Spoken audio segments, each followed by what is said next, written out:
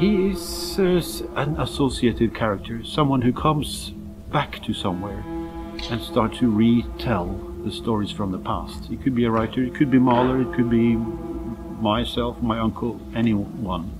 It goes, everyone goes back to somewhere in their lives.